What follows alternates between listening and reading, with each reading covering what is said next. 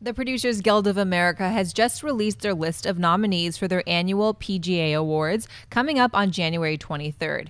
Here are their list of nominees for their version of Best Picture The Big Short, Bridge of Spies, Brooklyn, Ex Machina, Mad Max Fury Road, The Martian, The Revenant, Sicario, Spotlight, and Straight Outta Compton. Kristian, what do you think of the PGA nominees list? Uh, love the nominee list. The only one really missing is what we were just talking about, and that's Creed. I would have liked to seen Creed get a little love, but I, I think that's that's a pretty appropriate list. I, I, was looking at that list, and I have a lot of those movies in my top 10 mm-hmm. this year. I think it's a really uh, solid list.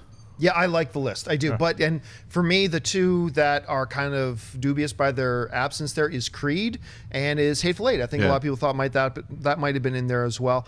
Um, but I like everything in here. So glad Spotlight's in there. That's probably going to be my favorite going into Oscar season. So it's good to see there. It's a good solid list. Yeah, Hateful Eight obviously was one for myself missing. Um, I thought you know some of the other ones like Trumbo should have been in there. I thought. I mean, there's some other like not giant budget films, but like middle of the road films that got released that I think were really well done and really well made. So, I mean, Carol's another one. I don't know if that was listed. I don't think Carol was on the list actually. Yeah. Now think about it. I mean, when you think about, I'm just, I was just going to say, you know, I didn't, I didn't adore Carol. I thought the performances yeah, in it were stellar, mm-hmm. but I think uh, the picture as a whole, I didn't. I felt the same way about Trumbo too. I, I felt I, the same way about Danish Girl. I thought the three of those movies, I thought that solid, solid performances. Movie okay.